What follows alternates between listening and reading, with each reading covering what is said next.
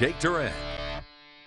There were plenty of runs to go around this afternoon when Marquette hosted Bark River in softball. The two squads combined for 32 runs in an offensive showcase.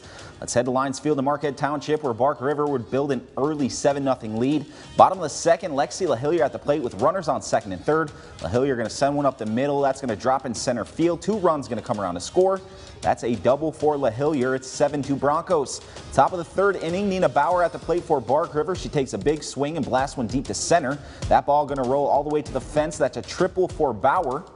Then a bit later, Lauren Zawada at the plate. The bases are loaded. Zawada grounds one through the gap. Two runs will score. Bark River Harris goes up 9 to 2. We're going to stay in the third inning. Lexi Burr going to pop one high into the air. That ball going to go over the outstretched arm of the Marquette outfielder. Broncos going to go up 13 to 2. Now Marquette would go on to score six runs in the fifth inning to really make the game interesting, but in the end, Bark River hangs on to win the game 17 to 15.